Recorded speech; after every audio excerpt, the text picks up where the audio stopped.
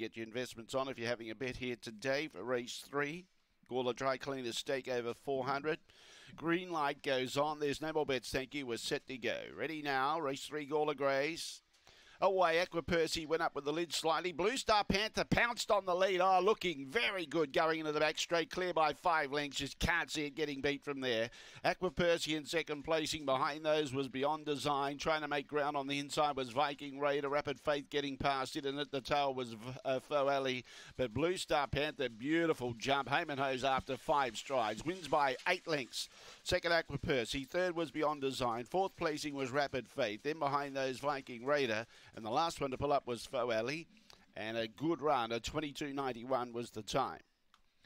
Well, that was over and done with after three strides. Usually begins okay, but that was probably better than normal. And uh, breaks its maiden duck, if you like, here at Gawler. That was her fifth start.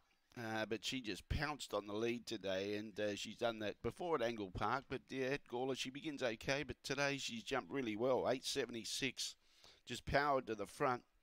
22.91, and the run home was 14.15, and those that backed her would have been smiling after three strides. A Blue Bitch, February 2019, Rock Domination out of Blue Panther, raced by A.K. Nobes, A K Nobes, Esfielder, and Karen Nobes, a winning trainer. Easy money, eight and a half lengths by five, eight and a half by five with the margins, five, ten, four, eight after race number three on the program.